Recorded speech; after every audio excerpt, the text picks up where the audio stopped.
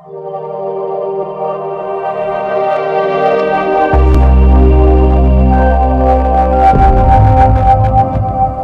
I feel there are a lot of unanswered questions in the world, questions that might remain unanswered during our lifetimes. Questions such as, are we alone in the universe? Do we have free will? How do you quit Vim?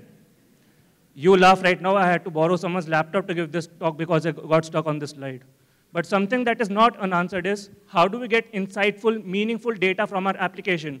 As an earlier talk suggested, Prometheus is a very widely used tool for this purpose. Uh, it emits data in the form of metrics, which are time series. Uh, it even generates some default metrics on its own. But the thing is, these default metrics can only take you so far.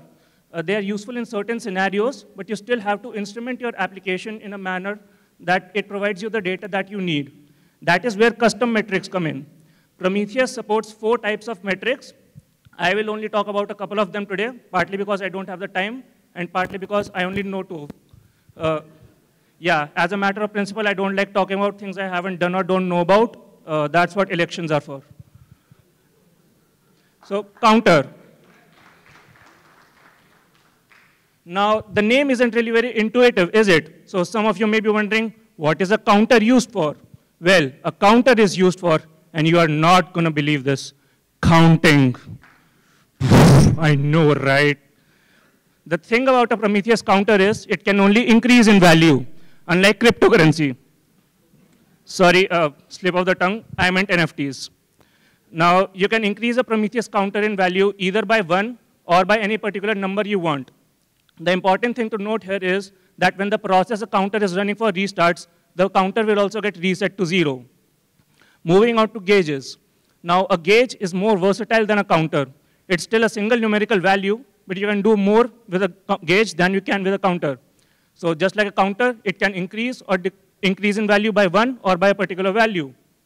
It can also go down, either by one or by a particular value. You can also set a gauge to a particular value. So you can reset it to zero. You can set it uh, to a negative number if you're into that. You can even assign it any particular value you want. For example, if you want to know how much time a function took to run in, the in its last run, you can set it to that. In addition to the, uh, these values, you can also set a Prometheus gauge to the current time. This is useful not only to know when a particular thing ran, but also to make jokes. Because when you are looking at your metrics, you can say, oh, look, my time has come. But hang on a minute. I, if I have similar metrics that I want to use for similar purposes, do I have to create new metrics all the time? Well, thankfully, no. That's where labels come in labels allow us to differentiate between the type of data that we are observing. So let's say that I want to observe the number of times a particular HTTP status code is uh, returned. So instead of having different metrics for each type of status code, I can have a single metric and use the status code as a label to differentiate between them. Great. So we can use labels to differentiate between data. Uh, another use case might involve uh, using labels to uh, track the number of requests by a user. Let's see how that would turn out. So you've decided to track the number of requests per user by using the user as a label. Also, you happen to have a million users because you've done a good job. Congratulations. What happens now? You end up with a million metrics. Wait, what? Oh, yeah. So long story short, don't do this. Don't hurt yourself unless you're into that.